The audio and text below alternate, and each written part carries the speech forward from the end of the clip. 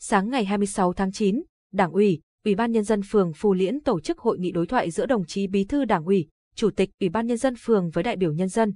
Qua nắm bắt, tổng hợp của Ủy ban Mặt trận Tổ quốc Việt Nam phường Phù Liễn có 27 ý kiến đại biểu nhân dân thuộc 8 lĩnh vực đề xuất, kiến nghị liên quan đến sự lãnh đạo, chỉ đạo của các cấp ủy Đảng, sự quản lý điều hành của các cấp chính quyền, hoạt động của Mặt trận Tổ quốc và các tổ chức chính trị, xã hội các cấp trên địa bàn, mối quan hệ giữa cấp ủy, tổ chức đảng và đảng viên với nhân dân, xây dựng chính quyền, tinh thần phục vụ nhân dân của đội ngũ cán bộ, công chức các cơ quan công quyền và chính sách cán bộ, công chức, công tác quản lý đất đai, trật tự đô thị của Ủy ban Nhân dân phường và quận, thực hiện chính sách an sinh xã hội, xóa đói, giảm nghèo, đền bù giải phóng mặt bằng, quy hoạch xây dựng, vệ sinh môi trường, bảo vệ tài nguyên thiên nhiên.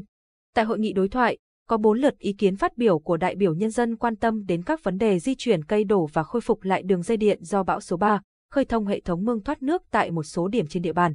Với tinh thần dân chủ, xây dựng, đồng chí Phạm Thị Hồng Trâm, Bí thư Đảng ủy, Chủ tịch Hội đồng nhân dân phường và đồng chí Trần Quốc Kháng, Phó Bí thư Đảng ủy, Chủ tịch Ủy ban nhân dân phường đã lắng nghe, tiếp thu và trả lời làm rõ những ý kiến, kiến nghị, các vấn đề đại biểu nhân dân phản ánh thuộc thẩm quyền của địa phương. Một số nội dung không thuộc thẩm quyền, phường sẽ phối hợp với các cấp, ngành, đơn vị liên quan giải quyết.